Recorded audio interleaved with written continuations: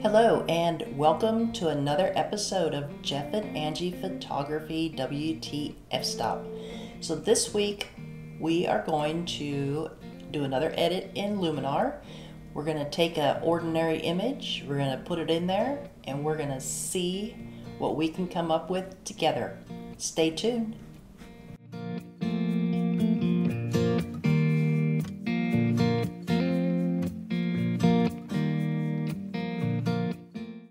Right, so today we're going to do a little edit on a Caddo Lake image that I took uh, last year when I was up at Caddo Lake. Actually, it wasn't last year, it was a couple years back. Went out on a boat ride and we took this, or I took this image while I was out there. And we're to do that. And I just want you to know about my upcoming workshop um, at Caddo Lake. If you are able to join me, it's November 9th through the 12th over the weekend. And we're going to be up in Uncertain, Texas. If you come and join me for the workshop, I will tell you all about Uncertain, Texas, and we'll tell you all about Caddo Lake. There's a lot of history at this place. And I'll also take you to an old army depot. And we'll also do some bird photography while we're there, seeing how there is a lot of birds. All right, so today, let's jump on over here to Neo. This is the image that we are going to edit, the sunrise image. So we're gonna jump over into the edit modular and we we're working from the original as you can see. All right, so jump into develop because remember, you always start in develop so you can control your light. So we're gonna take the highlights down so we can kind of accent that sky and water a little bit. We're gonna open up the shadows just a little bit. Make it not so much of a silhouette. Here we go. See what the smart contrast does. That brings out the sky a bunch. There's there's before, there's after. Well, it's looking pretty good. Then we'll hit the J key. There we go. We can see where our our black, where we have the purest of black. And we don't have any of the highlights blown out because there's no red. If there was highlights, you would see red. And then you double click on your slider and it will return to the original starting position. So and let's head over here. Let's go ahead and hit a little sharpening here. Then we'll go into the optics and do all that. And that's pretty much it. So then we'll jump down into enhance, do a little accent. Really helps bring those skies out. Oh, let's hit the J key get that turned off. Enhance the sky. That's looking pretty good.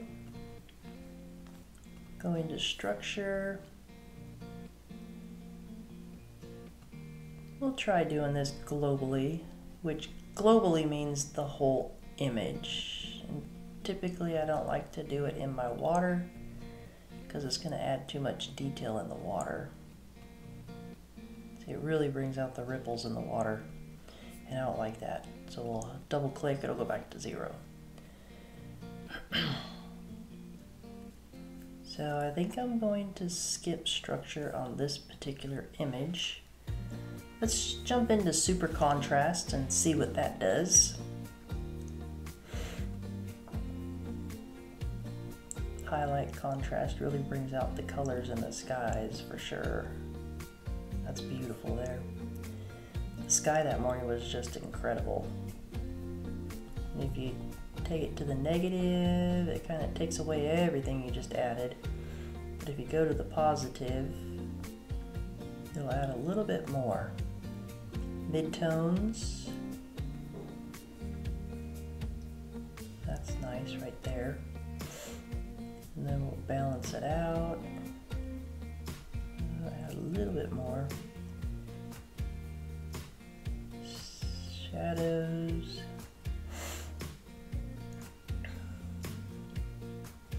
Something like that right there. Okay. And I think on the structure, I'm gonna try doing something complete opposite. I'm gonna grab my brush and I'm just gonna go in here and I'm gonna create a mask of this water. What I'm trying to achieve here is softening of the water using structure in reverse. So instead of adding texture, I'm going to oh, take it away. There you go. There's my soft water. Perfect. That's exactly what I wanted. All right, so head on over to our affiliate page, click on the link below, and it will bring you over to our page. And from there, if you're wanting to grab Luminar Neo, click on the link and it will take you right over to Neo. View the plans. And I highly recommend the Pro plan. That's my favorite plan. That's the one I have. And right now, they're running a special at $119 a year and if you enter my code AB15, you get 15% off that already reduced price. So now's the time to buy. And if you don't want a monthly bill, you just want to buy a one time, you can do that as well at 149 Buy it and it's yours. It comes with all future updates, so you don't have to be worried that you're going to get left behind. Either either one is a great deal, and either one you get 15% off, along with anything else that's on this website as well. Oh, but wait. If you act like you're going to leave, click I love free gifts and they'll give you 10 free skies with your pro membership or explore. But explore you're really limited on. Um, I would really suggest the pro because the explorer is still $119 a year. There's and that's if you do monthly. But if you do annual, it's $99 a year. But really $20 more and you get so much more. You get all the extensions, you get everything. All right, so some of our other affiliates, we got B&H, we got DxO, um, you click this link and it will take you to their website and you do get a free trial with that. So click that link and go get you a free trial. And we got Pro Media Gear, the makers of the best tripods on earth. And you got f-stop bags, which are great backpacks, but I especially like them for their inserts. Topaz Labs is another good editing program. I don't use it a lot, but yeah, it's pretty good. One of these shows I will show you how I go about using that as well. All right, well, let's jump back on over to the video and let's finish editing. So let's go ahead and zoom into the sky, see what that looks like. Looks like the sky has a little bit of noise in it. So go down here. This is how I like to denoise things. Grab my brush And then I'll just take it and I will just paint in the sky like so.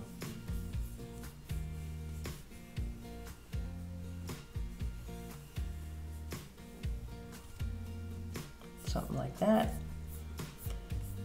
And then go over to adjustment. We'll zoom into a section, then we'll just take that and we'll just crank it down. It definitely reduced the noise in the sky. All right, here we go. And just like that, we went from blah to wow. So let's let's go on and crop this image as well. Probably have to straighten up the horizon a little bit since I was on a boat and it was moving. So over here I'm going to take it to freeform. I don't want to lose any of my trees. And I want to keep horizon right there on the third, and I want to keep this tree here on this third. There we go. And looks pretty good. All right, so how did you like that edit? That one was quick and easy and pretty painless. So don't forget to hit that like button and subscribe and ring my bell so you will get notified notified the next time I post a video. And you can join in with an edit, gear review, or travel notice. All right, thanks for watching and have yourself a wonderful day.